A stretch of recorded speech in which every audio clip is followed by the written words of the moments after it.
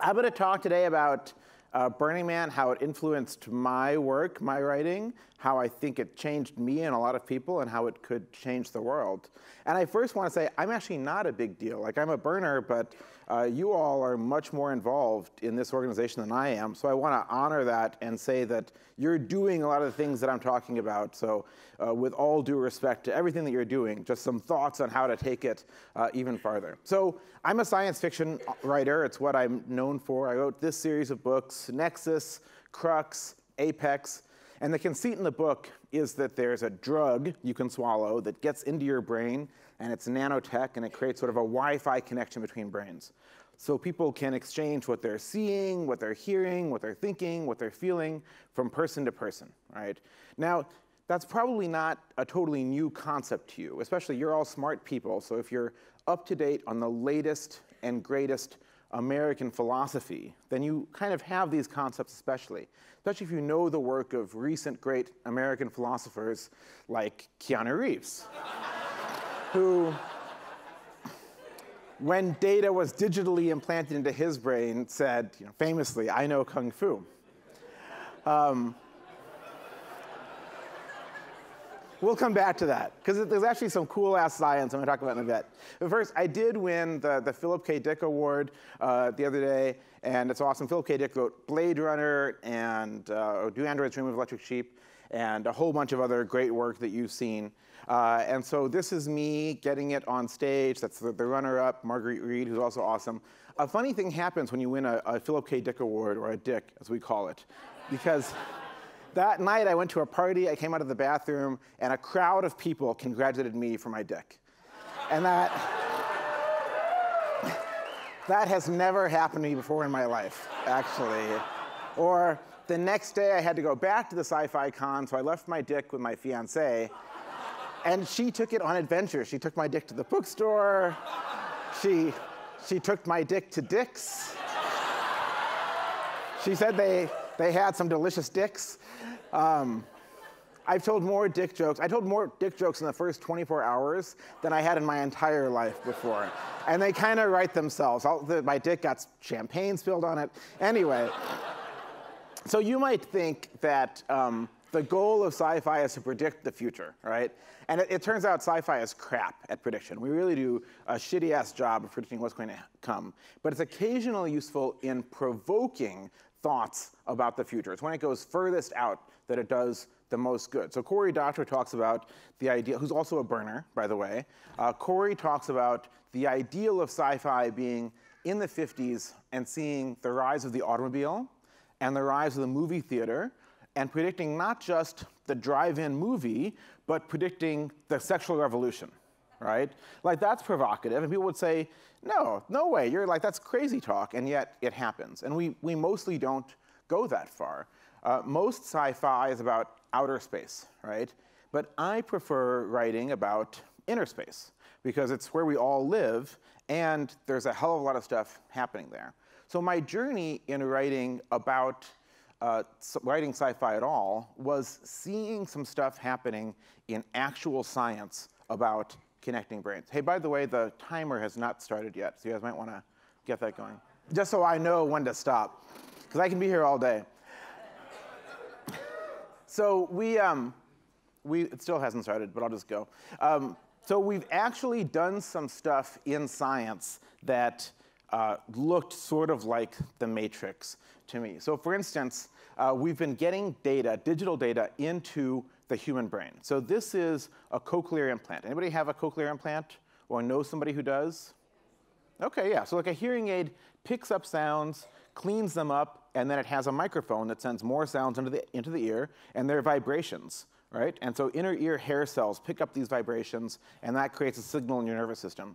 But if you have no inner ear hair cells left, no amount of vibration works. So a cochlear implant picks up sound to the microphone, but then it sends an electronic signal into the auditory nerve, which is just trippy that it works at all.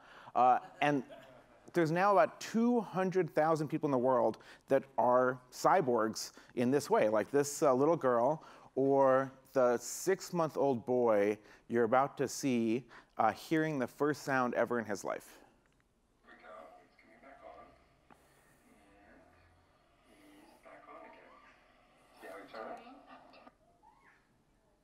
Stop the sucking. Hi. Good. Did you hear that? Hi, sweetie.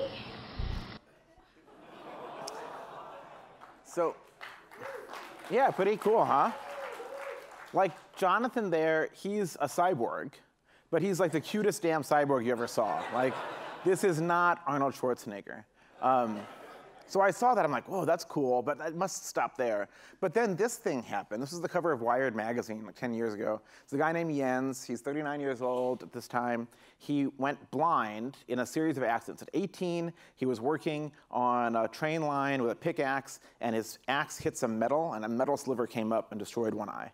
The next year, he was out snowboarding, didn't want to compromise on his outdoorsy life, lifestyle. He had a snowmobile accident, and a piece of clutch flew up and destroyed his other eye right? Totally sucked. But he went on with his life. And then, age 39, doctors fitted him with this. This is a, a, digital camera worn on his glasses, and it gets the signals, it processes them, it translates them, and that goes to this jack in the back of his skull that goes to primary visual cortex, the part of your brain that, that first processes images from your eyes. And there's a few billion neurons in primary visual cortex alone, and this thing has 256 wires, right? It's not a whole lot of data coming in, but it's enough that he could get what they called limited functional mobility. And what is that? Well, here's what that looks like. I was able to very carefully drive and look from my left side to my right side, making sure I was between the row of trees on the right and the building on the left. When I got near um, any obstruction in the front, I would see that there was an obstruction. I would also see the lack of obstructions. And then when I backed up, I would be able to um, inspect for instructions there. It was really a nice feeling. It was really a nice feeling. So, so that's a guy who was blind for 20 years driving a convertible. Now you'll notice there's nobody else in the car. There's no cars in the parking lot. Like his, his vision completely sucked. It was 16 pixel by 16 pixel grayscale. But it was a proof of concept that we could do something. We could take digital data and import it into the brain. So I was like, whoa.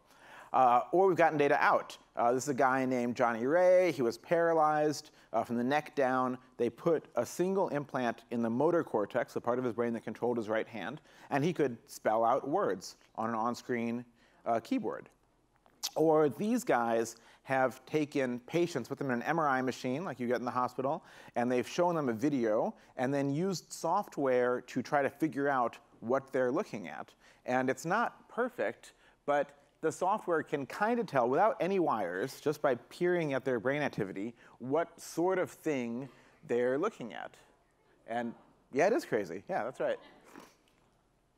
And this is great for tinfoil hat people too. Like, we're all in a giant MRI machine, and the CIA is reading our thoughts. No, they're just reading your, your emails and, and Facebook posts. Uh, so yeah, so wild ass things were happening, and we've also started augmenting people's, well, at least animal brains a little bit. Anybody know what movie this is from? Very good. What's the name of the actor? Guy Pearce. Excellent. What's the name of the character? Lenny, my, nobody ever gets that. You guys are good. Okay, it's a film about, about memory, right?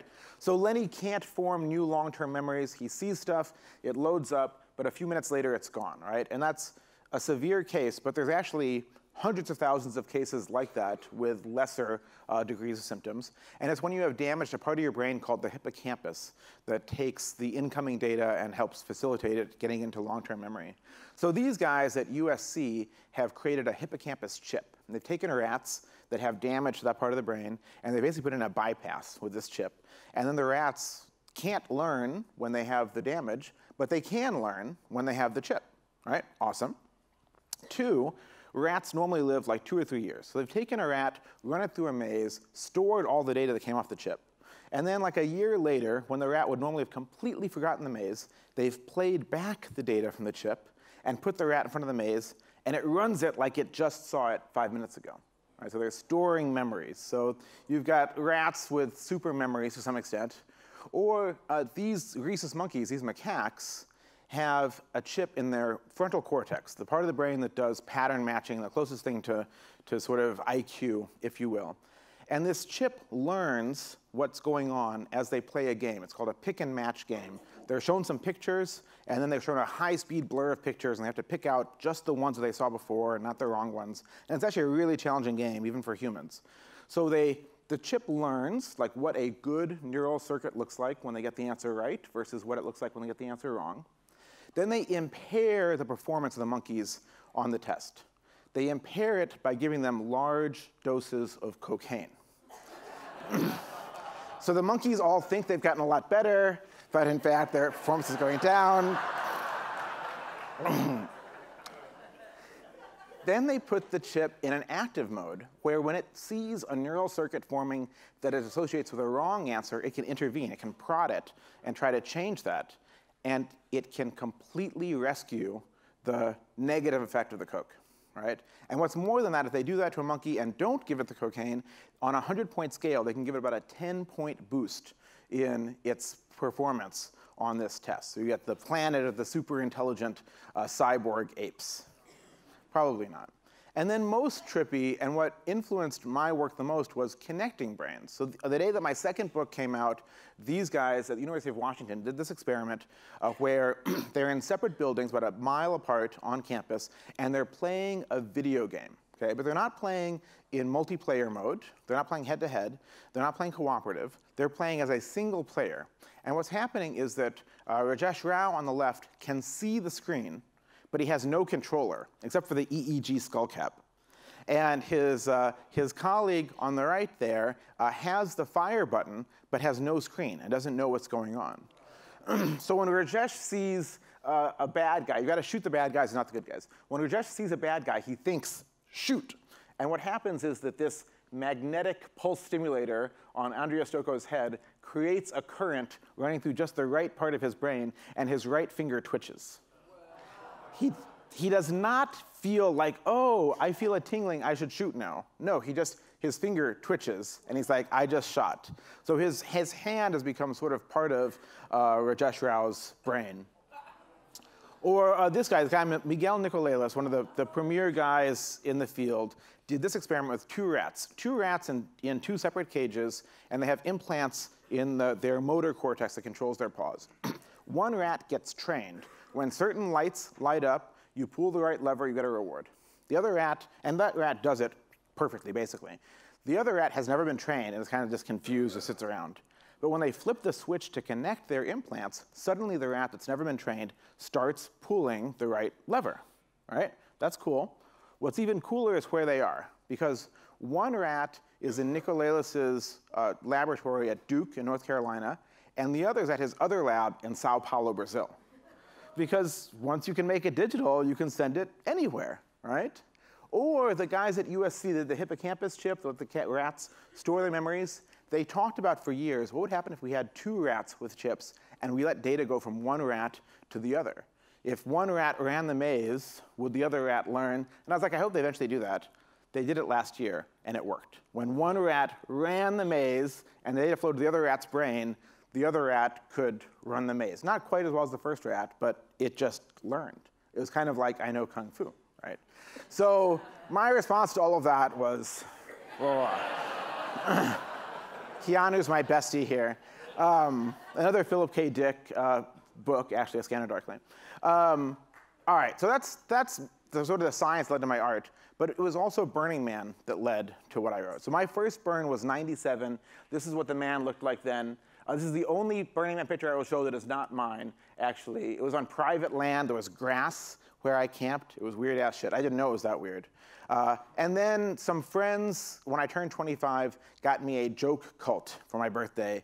And we assumed it would last just a few months. But we had loved Burning Man so much, we're like, let's go back to Burning Man in 98. And then somebody's like, what should our theme camp be? And so the Church of Mez was born.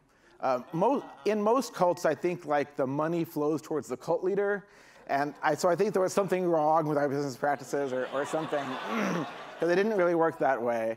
Uh, but you know, we did all the usual thing. We bought a bus. Uh, we, we painted it weird colors. We made art. Uh, we always like to make tall things. So that's why Kay could find her way home. We made a lot of friends. Yes, absolutely. And before this, I was a shy dude. Like, I was smart, I was whatever, but my I had no confidence. My external life, my ability to interact with new people was nil, but not nil, but very low. But somehow, in the course of going to the burn a few times, I remember like striking up a conversation with a lovely young lady at the porta potty. I was like, whoa, I just did that. I just talked to somebody. Like, I changed, right? I became, I became this dude, and my, my personal experience of the world changed. Like, I started to have different ways of interacting with the world. I experienced new emotions I did not experience before, right? So, what does it mean? What does it mean? Um, so, I'm big into meaning. And here's my, my view of what anything means the meaning of a thing is the change that thing causes in the world. The meaning of a word is the change it causes in your brain when you read it. The meaning of a book is the change it causes in you. So, what's the meaning of the burn? Like, the meaning of, of this experience is what all of these people take out of that experience. And I think in that respect, Burning Man has already had a dramatic impact on the world, a dramatic positive impact on the world by changing thousands of people, by allowing for change and expansion. Maybe more than thousands of people, maybe millions of people, actually. This is my friend Jesse Robbins. You might know him. He's a, a, firefighter on the playa. And Jesse would not be offended to hear me say that he's a type A personality and is a very controlled, uh, ratcheted up person. Uh, but he's a little bit less than he used to be. And it's because of Burning Man. I, just, I think these pictures reflect sort of the, the experiences that he's had over time. Everyone can expand. Everyone can grow into new emotions. Everyone can change, right? And I think Burning Man facilitates that. Anais Nin says that uh, life expands or contracts in proportion to one's courage. And that's true, but I think there's more than that. Life can expand when your horizons expand. When someone or something shows you what's out there over the horizon that you thought you had life can expand based on your community, your shared experiences, right? Life can expand off your role models. Whether you're a geek who sees somebody who's also geeky doing something cool, or you're a woman who never thought you could be the one with the sledgehammer, piling the, the driving the nails into the ground, right? Life expands with your peak experiences that Burning Man facilitates. And that's true even people that have never been to the burn. My friend Mason went to the burn for the first time in 2000, and he was one of the few people who told me that it was not a life changing experience. But it was not because he had been living for three or four years in a burner culture in Seattle, where the life changing aspects had already gotten out to him. People that have never been to the burn but see that it exists and see that that sort of experience or life or activity is possible, that creates a new potential uh, landmark for them. It creates a new ideal of what's possible for them. And I want to bring this back to my writing.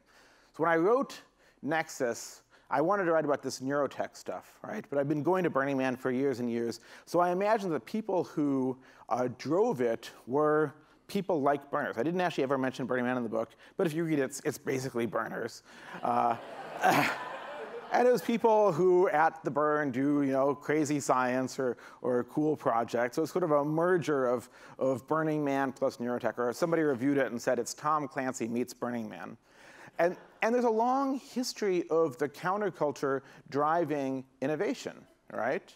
And it's not like, I, I, I think this cartoon was meant to be cynical, uh, but it fails because the reality is like, people who have lived in the counterculture have driven, you know, from the creation of the, the mouse and the basic metaphor of the mouse and the screen, the bitmap screen, to Steve Jobs. And it's not just about dropping acid, it's about being in this experience. Stewart Brand and the whole Earth catalog, the counterculture has driven huge technological innovations and societal ones.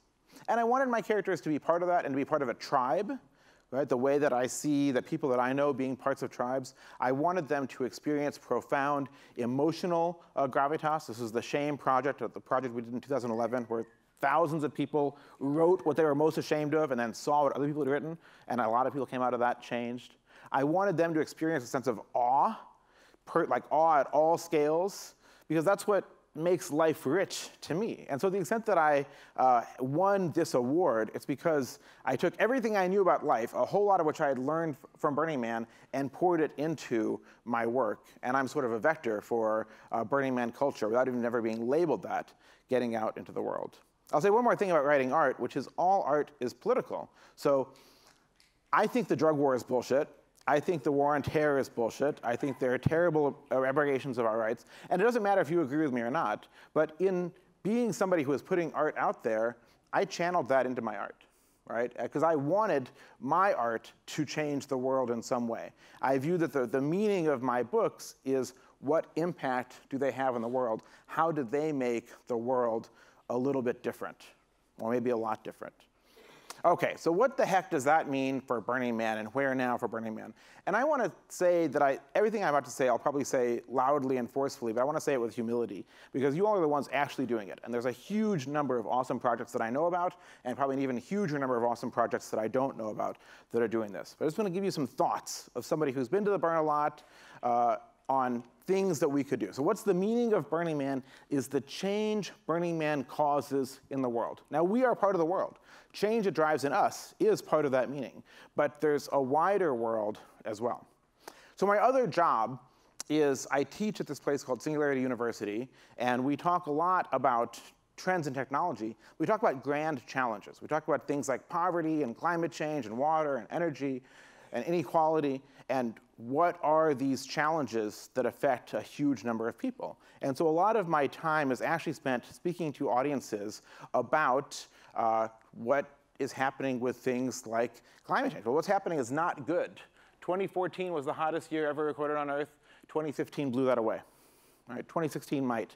Uh, February 2016, last month, was the warmest month ever recorded by a huge margin.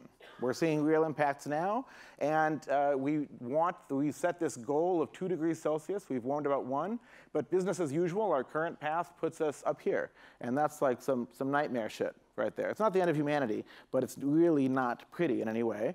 And to try to have any hope of getting it uh, down to that two degrees Celsius, we can only burn about a quarter of the fossil fuels that we know about, right?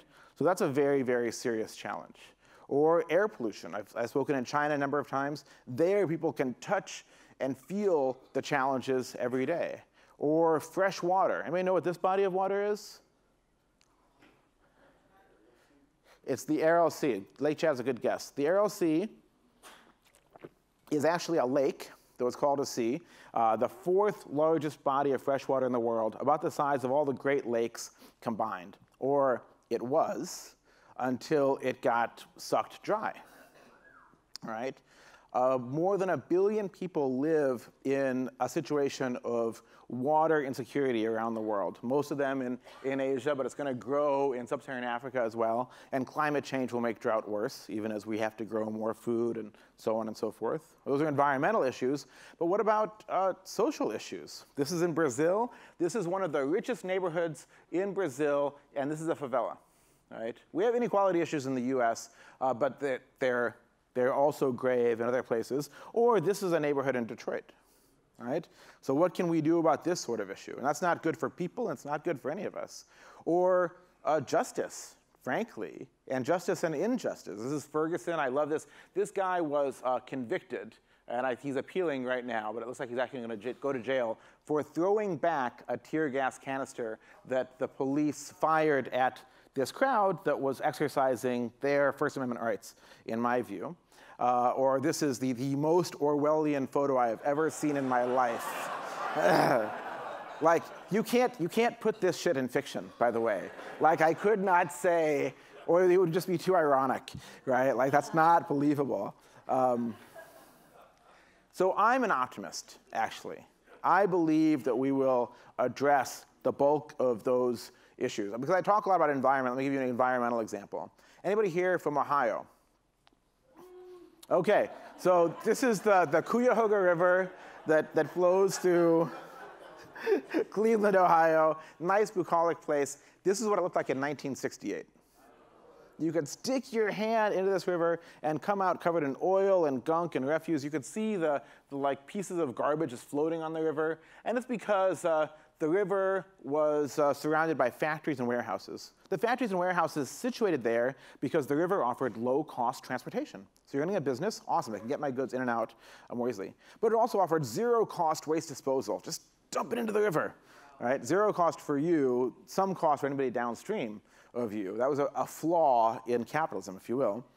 1969, a train crosses a bridge over this river, and its metal wheels on the metal track throw a spark. I see some nods. The spark drifts down onto the river surface, and the Cuyahoga catches on fire.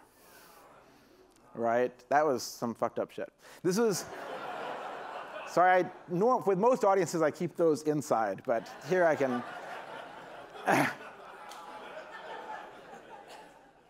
so this was the 13th time the Cuyahoga River caught on fire that by lore. The 12th time was during World War II, but this time there was color television, The Tonight Show uh, joked about it, a top 40 song was written about it, uh, and in the next four years, we created the EPA, we passed the Clean Water Act, we passed the Clean Air Act, right? And now, uh, this is the Cuyahoga River outside of Cleveland, like you can drink out of it. 27 of the 30 species that have disappeared of fish are back in the river. Like we can fix this sort of thing. Well, here's smog in New York City or LA or London. Smog in London killed tens of thousands of people in the 60s. Uh, it's as bad, it was as bad then as it is in Shanghai or Shenzhen or Beijing uh, or Mumbai today. Uh, and now it's not, right? Because we acted. Or anybody here remember the ozone hole? It's, it's real, it's still there. Uh, we woke up to the ozone layer thinning. It wasn't just a hole around Antarctica around the entire globe, the ozone layer was thinning. And ozone, by the way, protects us from UV radiation, and UV radiation breaks down DNA. So no ozone layer and all life on the surface of the Earth goes away. Obviously, it wouldn't have ever gotten quite that far. The ozone layer is now healing. It takes decades to rebuild ozone, but it's healing a little bit ahead of schedule, we think. Uh, and it's healing because we did the impossible. We created an international agreement to phase out these chemicals like Freon and other CFCs, chlorofluorocarbons, that destroy ozone. It's called the Montreal Protocol. Industry said it would cost hundreds of billions of dollars. You couldn't do it. Uh, your air conditioner in your car would never be cold again, and people would die because medicines in hospitals could not be kept cold. But none of that shit happened. Like, we just did it. And in fact, smart businesses made a lot of money. They're like, oh, there's gonna be a need for a coolant that does not destroy ozone. Let's get on that, right? Like, or in climate, like climate change is incredibly severe, but we have this incredible progress happening. I talk a lot about solar. So the price of a solar module when I was born was more than $100 per watt. And now it's like 36 cents a watt. And so in places like Palo Alto in California, just, you know, just south of here, uh, just bought power from LA uh, solar farm at half the cost of natural gas or coal electricity. So in sunny places, crazy ass shit is happening. And the only things that get cheap this fast, by the way, normally are like electronics. This does not normally apply to the physical world, but it is, right?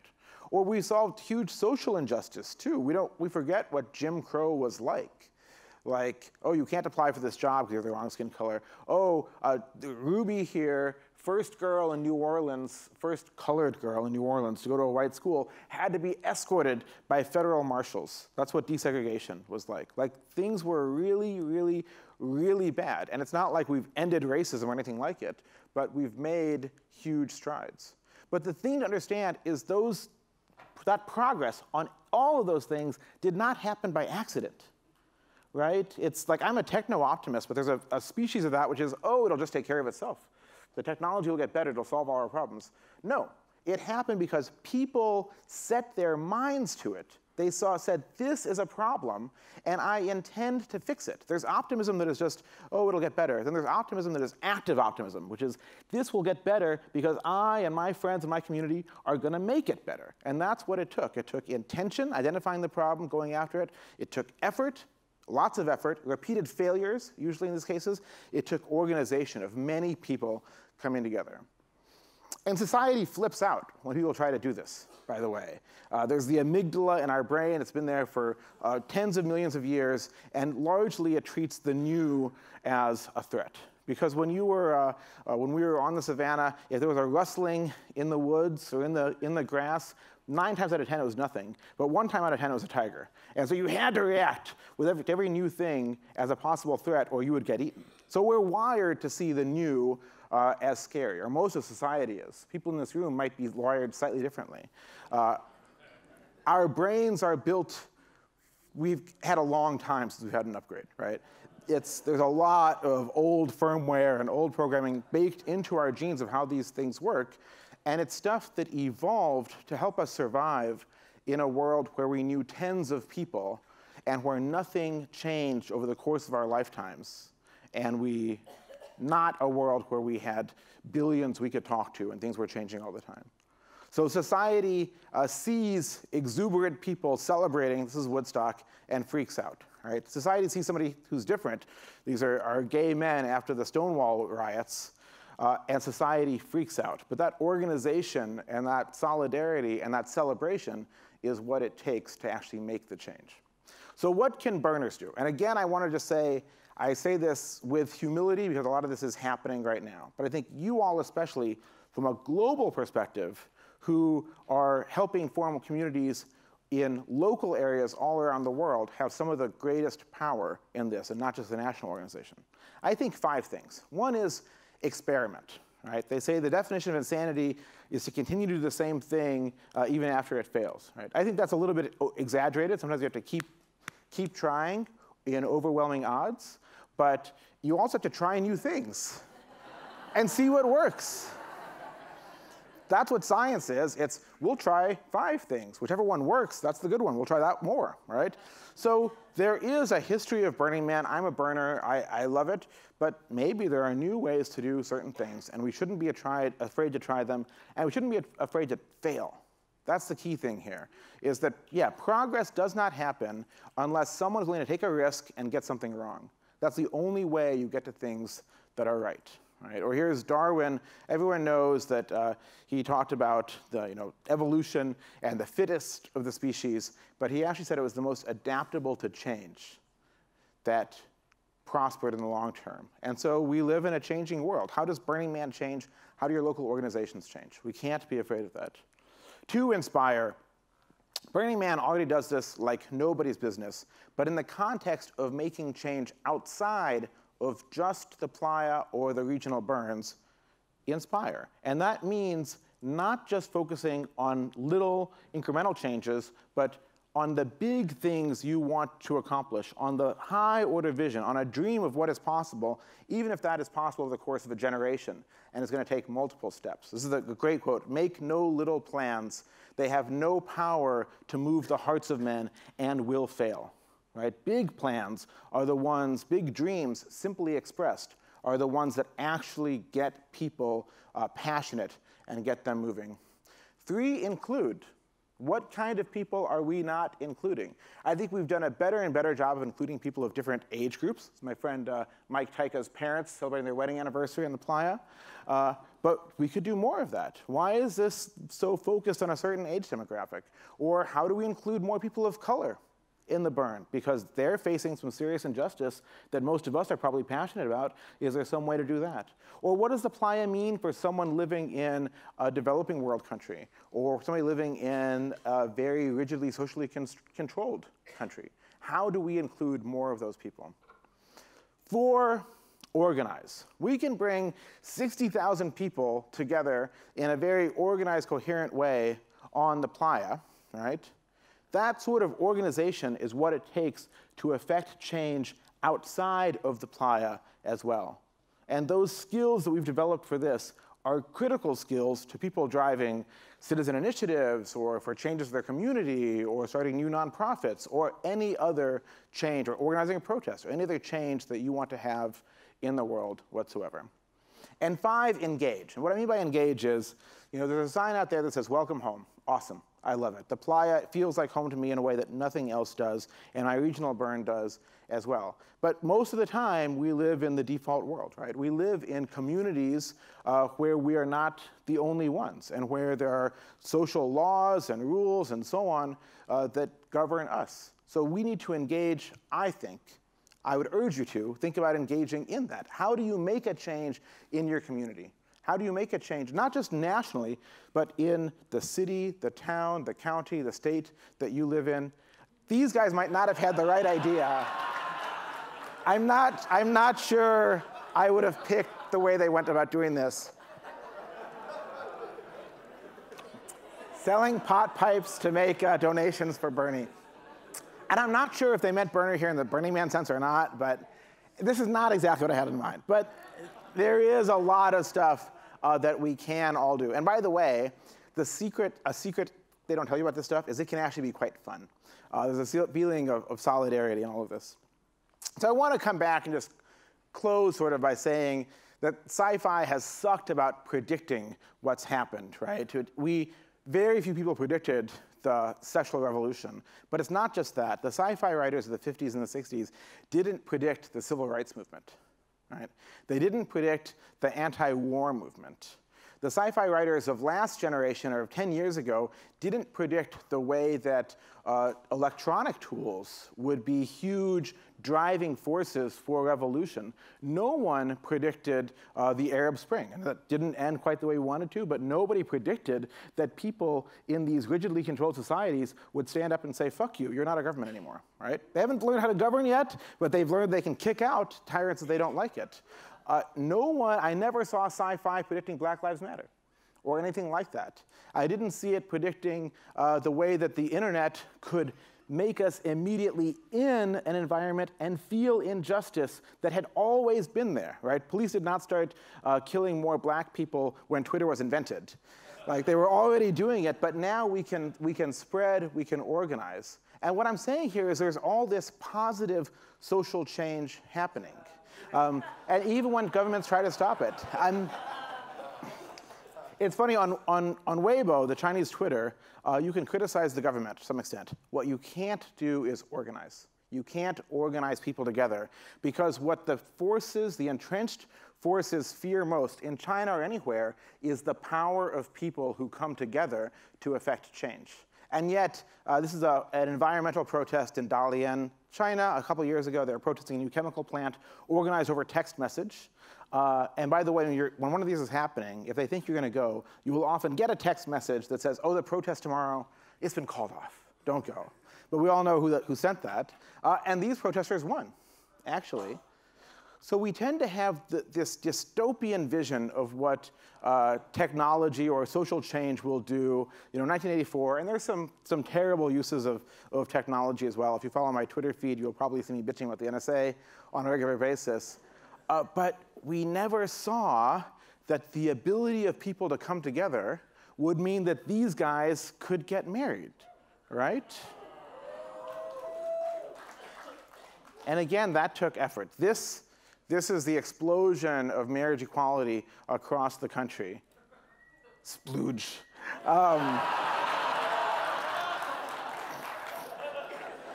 but two things. This this did not happen by accident. It took a hell of a lot of work, and at the same time, once people did start working at it, it happened a hell of a lot faster than anyone thought it could happen. And I think that's true of a lot of things. It's true of, of, of pot legalization potentially. It's true, this is how fast America changes its mind on, on all sorts of things. Women having the right to vote, interracial marriage, abortion rights, uh, and now um, gay marriage, and then maybe pot legalization next, I don't know.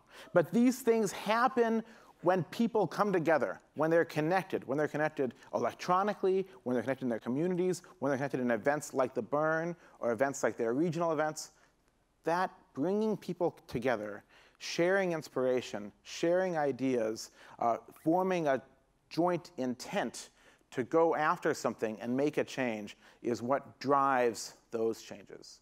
So the meaning of Burning Man to me is the change that it can have in the world. We are part of that. It's already had huge meaning by changing us. Uh, but there's more, I think, that can be done. And uh, we are the ones that we have been waiting for. So that is it. Thank you.